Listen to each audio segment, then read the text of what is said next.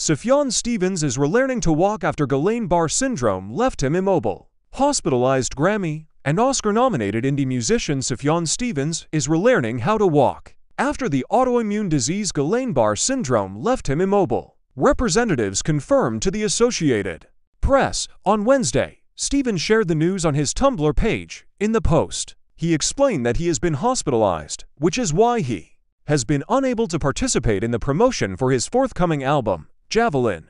His first since 2020's The Ascension, Javelin will be released on October 6. Last month I woke up one morning and couldn't walk. My hands, arms and legs were numb and tingling, and I had no strength, no feeling, no mobility. My brother drove me to the ER, and after a series of tests, MRIs, EMGs, CAT scans, X-rays, spinal taps, echocardiograms, etc., he wrote. Neurologists finally diagnosed with him Guillain-Barre syndrome. Luckily there's treatment for this. They administer immunohemoglobin infusions for five days and pray that the disease doesn't spread to the lungs, heart, and brain. Very scary, but it worked. He continued, adding that he spent about two weeks stuck in a bed while my doctors did all the things to keep me alive and stabilize my condition.